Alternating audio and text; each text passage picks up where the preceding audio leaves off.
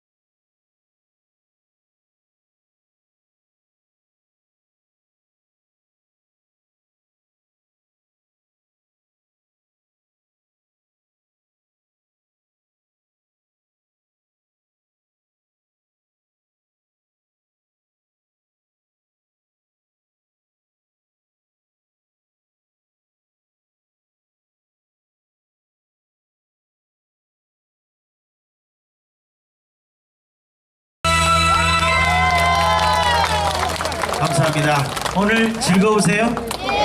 고맙습니다. 제가 이렇게 지역을 다니다 보면 그 지역을 대표하는 가수들 꼭 있죠? 더군다나 우리 전라남도 또 우리 목포를 대표하는 가수들은 참 많습니다. 그 중에 저는 이분이 있어서 행복합니다. 이분이 있어서 굉장히 자랑스럽습니다. 정말 트롯계에는 여왕이 따로 없습니다. 트롯계 여왕이라 해도 감히 이분에는 호칭이 부끄럽지가 않는 가수입니다. 가수 최윤아 씨를 큰 박수로 환영합니다.